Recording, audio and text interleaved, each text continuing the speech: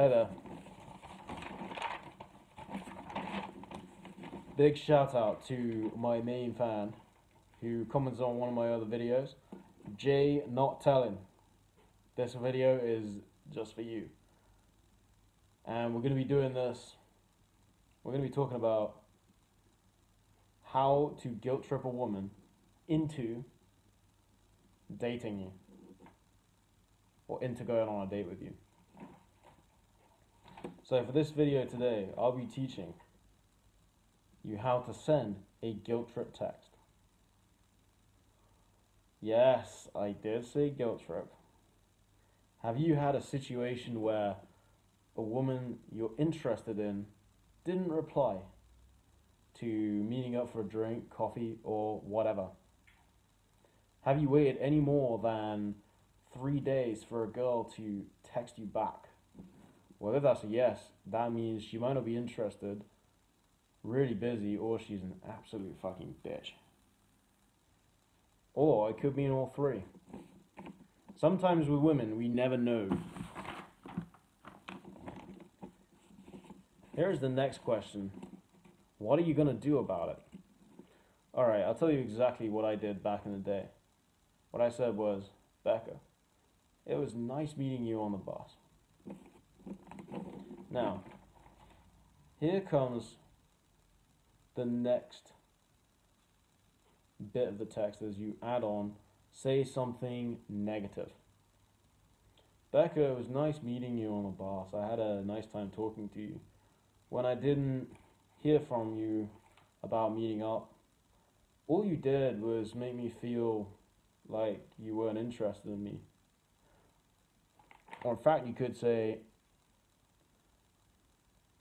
depends what the girl's name is. Hey, Rachel, I had a nice time meeting with you, but you know, talking with you in the park. But when you didn't text back, I, I thought you didn't want to see me. Or actually, or another way to do it is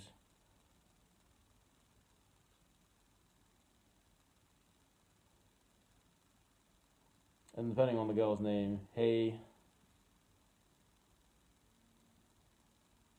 hey Roxana, it was nice meeting you last week when we were um, playing frisbee in the park, and I know we talked about meeting up, and I sent you a text about it, and then when you never replied, I I felt like you didn't want to meet up. So, where the guilt trip comes from, this is not a technique.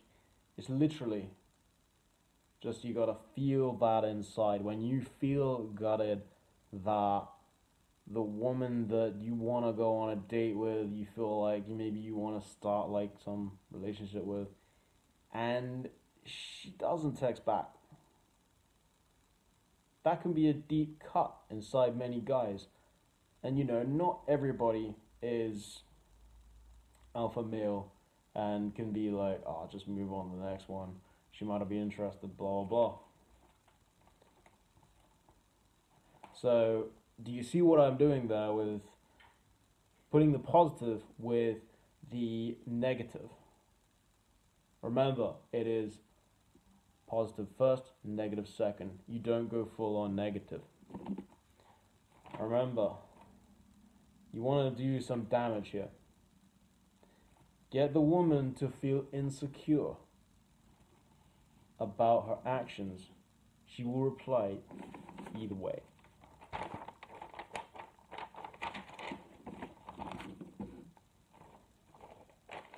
Now, after you have sent the text. If she doesn't reply, it's better to move on knowing that she will feel guilty about the action she just did.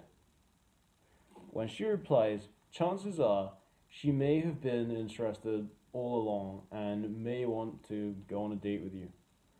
Alright, so let's pretend that um, you text her about having a second date. Then it gets to that week and let's pretend that she hasn't replied about it or she cancels. What you could say is, I had a nice time on when I met up with you. I don't understand why you would cancel on me like that. It made me feel like you're not the person I thought you were. Or I feel, or maybe you could say, I feel like you're not the same on the text as you were when we met in person.